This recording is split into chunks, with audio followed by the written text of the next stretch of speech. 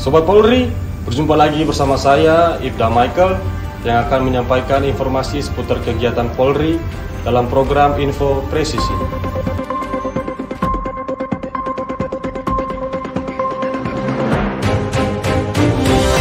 Pada Kamis 15 Desember 2022, Kasep Polwan Lendiklat Polri, Kombes Pol Ratna Setiawati SH, bersama siswa gabungan TNI Polri mengunjungi anak-anak berkebutuhan khusus atau disabilitas di Sekolah Luar Biasa A Pembina Tingkat Nasional Jakarta. Para siswa gabungan TNI Polri ini berkesempatan menyapa dan berbagi kebahagiaan dengan murid-murid sekolah luar biasa mulai dari tingkat TK hingga SMA. Berbagai kegiatan positif dilakukan secara bersama-sama seperti bernyanyi, bermain, menari, hingga tanya jawab seputar pengetahuan umum serta memberikan pesan-pesan positif mengenai bahaya narkoba, ketertiban lalu lintas, hingga kenakalan remaja.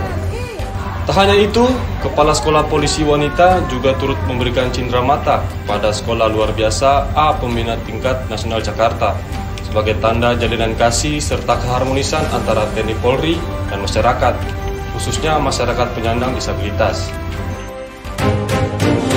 Sekian informasi yang dapat kami sampaikan. Terima kasih atas perhatian Anda. Sampai jumpa pada info berikutnya. Salam presisi.